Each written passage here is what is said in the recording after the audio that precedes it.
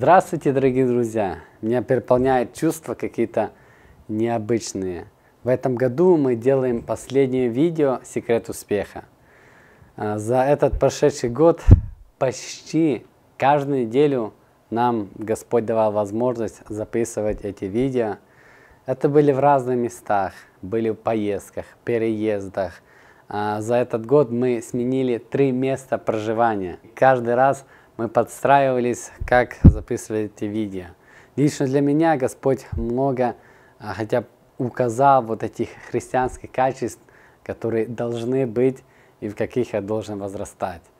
Уже мне было интересно прослушивать а, видео, которые полгода записали и размышлять. О да, об этом мы говорили, об этом мы размышляли, об этом мы молились. Мы выставим ссылку под видео, и также любое время вы можете написать и через почту, и через Facebook, через YouTube, через Instagram.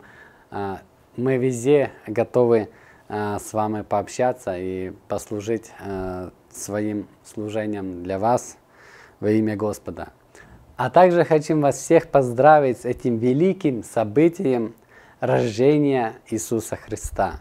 Эти дни мы будем вспоминать о том, как Иисус пришел на землю и для чего Он пришел на землю – и какое влияние он имеет сегодня ко мне. Уже не как маленький рожденный э, младенец в яслах, но как а, Господь, который царствует, Господь, который имеет силу избавить нас от всякого зла, исцелить нашу душу, очистить наше сердце и простить наши грехи. Вот этот Господь пришел много лет назад, и Он это может делать и делает – з нашими э, сердцами, з нашим сердцем, с нашим разумом, очищает, просвещает. И стих именно на этой неделе об этом, организованность, насколько Господь э, имеет власть и силу в нашей жизни, насколько мы Ему э, допускаем Его в наше сердце. И мы кратко поговорим о этом слове, даже оно кажется не так и духовное, э, но мы его увидим, насколько это важно в нашей жизни э, быть организованным человеком. И потом прочитаем стих, который мы изучали на этой неделе. Организованность, в отличие от дисциплинированности, это умение во всем поддерживать порядок и хранить вещи на своих местах для достижения наибольшей продуктивности в своей работе. Вот в физической жизни нам очень необходимо это качество, чтобы быть продуктивными. Я каждый день работаю на компьютере. Мне приходится много файлов э, чистить практически каждый день, удалять. Потому что я их, э, я делаю эти файлы э, каждый день много. И когда выставляю это на YouTube, пересылаю на печать и так дальше, так дальше кому-то людям, и приходится все чистить, то, что пригодится еще на позже, а, отлаживать на какие-то места, потом что-то оставлять на Google Drive, чтобы другим людям могли они а, найти это, этот документ. И практически мне приходится каждый день очищать, приводить порядок, чтобы компьютер просто не перегрузился информацией. Это качество мне необходимо каждый день, потому что каждый день мегабайты, мегабайты добавляется информации. Каждую неделю это мы делаем видео, снова это добавляется информация, а, как и на компьютер, так и в интернет. И так необходимо это качество. Но я и замечал, что есть в чем дальше учиться для нас, для меня. Вот некоторые мысли, что такое организованность. Организованность не стоит рядом с благочестием. Это часть благочестия. Очень удивительная цитата, и взял с книги The Power to Success. В начале года я вам часто показываю эту книгу. И то, что насколько мы в жизни организованные, правильно ведем себя пред Господом, пред другими людьми, что это является частью благочестия. И второе. Организованность – это иметь для всего свое место на правильном месте. В нашем доме может и есть для всего место – но это место можно туда кинуть, туда подкинуть и все. Но самое главное, чтобы иметь место в своем доме, но это правильное место для всего. Это очень важно в нашей жизни. И мы это понимаем. Может, не всегда нам получается быть организованным, но каждый из нас понимает, что это такое. И некоторые мысли я также взял с этой книги, как быть упорядоченным, организованным. Первое. Следовать мудрому расписанию. Расписанию мы видим в Библии, начиная с первого дня творения, был день и был вечер, и Господь на второй день опять сотворил, и вечером смотрит, как это проходит, и на третий день. То есть мы уже видим мудрые расписания. И для нашей жизни это необходимое, чтобы иметь мудрое расписание, чтобы быть организованным. Когда мы просыпаемся, когда мы имеем общение с Богом, так дальше, и так дальше, и так дальше, и на весь день. Второе. Слушать порядочную музыку. Сегодня много споров о музыке, какая музыка хорошая, какая нет, есть ли христианская, не христианская, все ли одинаково. Но организованный человек, он действительно слушает ту музыку, которая его вдохновляет, которая его э, приводит к покаянию, размышлять о Господе, о страданиях Его. Э, то есть больше о духовном. Не всегда думать, какой я бедный, какой я несчастный. И есть различные стили музыки. Просто можно даже посмотреть на тех, кто исполняет эту музыку, увидеть, насколько они организованно стоят, насколько они организованно поют, насколько организована их прическа. Об этом тоже э, также много чего говорит. Иногда мы можем слушать музыку музыкантов таких, и они нам нравятся, но мы никогда не хотели разговаривать, как они разговаривают. Мы никогда не хотели такую прическу сделать. И здесь какое-то, кажется, есть противоречие. И здесь можно дольше продолжать, но я хочу закончить эту мысль. И несколько месяцев назад я выслал проповедь о музыке. Действительно проповедь сильная. И по комментариям можно узнать, что разные люди по-разному подходят и отвечают на эти вопросы. Поэтому пусть даст вам Господь мудрости на основании Писания разобраться и в этом вопросе. Это слово порядочность достаточно понятное для нас, и мы знаем, как себя вести перед другими, перед начальником, перед теми людьми, которые для нас не безразличны, особенно молодые, как через молодые братья, как себя ведут перед молодыми сестрами. Но мы должны помнить, что мы должны вести себя порядочно перед всеми людьми и самое главное перед Господом. Четвертое. Поддерживать чистоту в окружении. А, много мы где ходим, делаем. И организованный человек, он действительно является ли он дома, на работе, везде, он поддерживает чистоту. Как и физическую чистоту, которую мы видим, также эту чистоту в слове, в компании и так дальше.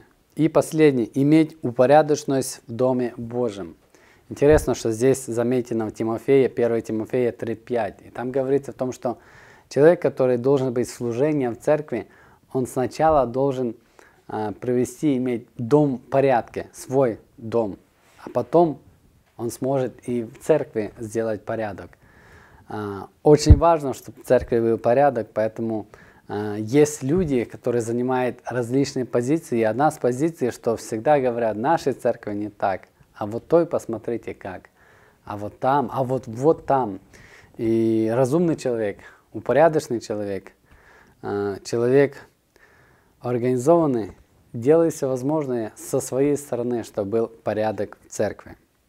А сейчас стих, который мы читали, такой. Итак, возлюбленные, имея такое обетование, очистим себя от всякой скверни плоти и духа, совершая святыню в страхе Божьем. 2 Коринфянам 7.1. Я хочу кратко, вне контекста, поговорить об этом стихе. Очистим себя от всякой скверни. Организованный человек – это тот человек, который очищает. Вот как я вначале говорил о компьютере, мне приходится каждый день очищать некоторые файлы, удалять их, чтобы компьютер не перегрузился, чтобы я мог что-то делать. Так само в нашей жизни. Каждый день мы должны проверять на основании Слова Божьему, э, очищать свое сердце. Мы знаем этот стих, испытай меня, Божий, проверь, не опасным ли я пути. испытай сердце мое, испытай пути мои. И как хорошо, когда Господь указывает, и мы проверяем, очищаем плоти и духа.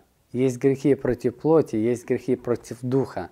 И важно в этом разобраться, и чтобы очиститься от всего. Совершая святыню в страхе Божьем, святыню. Когда я слышу слово святыню, у меня как-то вспоминается ветхозаветная скиния. И насколько там было все организовано, насколько там был порядок до каждой детали, как Господь давал, как это построить, как потом кто, когда заходит, сколько раз, где что. Очень организовано. Когда мы читаем, мы можем удивиться, как Господь все делал там удивительно.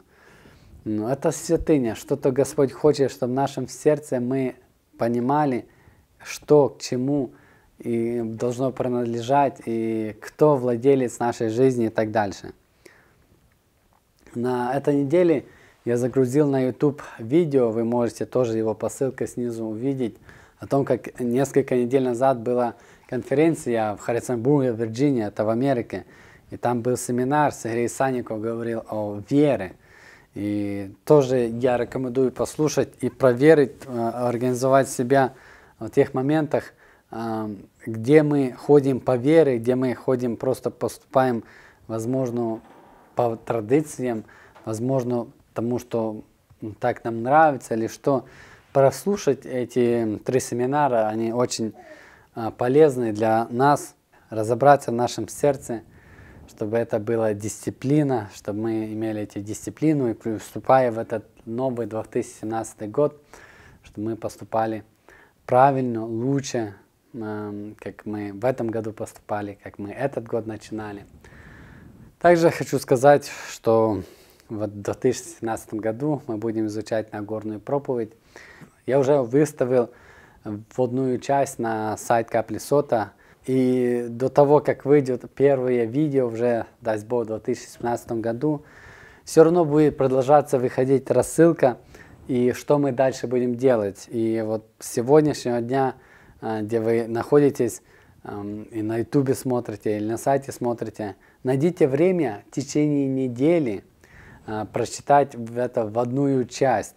Очень важно будет, а, вы познакомитесь с автором книги, по которой мы будем идти, Нагорная проповедь – это нелегкая, но важная проповедь, поэтому мы не рискнули сами по себе изучать, хоть у нас были мысли, чтобы каждый раз подключать какого-то служителя и так дальше, но мы увидим, что это будет очень нелегко еще для нас. Поэтому мы будем идти по книге, которую вы там увидите, и с автором. И я рекомендую эм, просмотреть следующее видео, которое выходит вместе с этим видео, а, чтобы как рекламное видео, почему мы выбрали Нагорную проповедь, немножко рассказать снова о программе «Секрет успеха» для тех, кто первый раз слушает, и также рассказать, а, как мы изучаем а, и вот об этом мы хотим поговорить. Но также хочу сказать, что еще стих мы будем изучать на этой неделе, прям до но Рождества, хотя потом мы же не сможем сделать это видео, но рассылка будет и стих, который вы сейчас прослушаете, и после стиха вы просмотрите видео, которые, а, качество, которое будем изучать. А сейчас с Господом.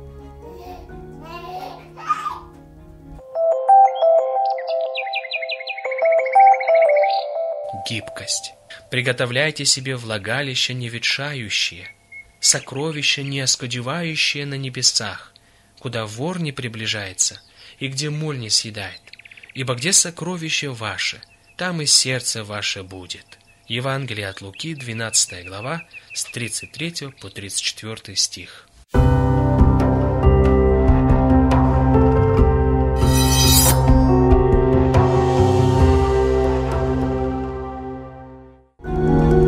Сайте Капли Сота есть рассылка, на которую вы можете подписаться, и каждую неделю вам на почту будут приходить хорошие проповеди, аудиокниги, статьи, а также вопросы и ответы.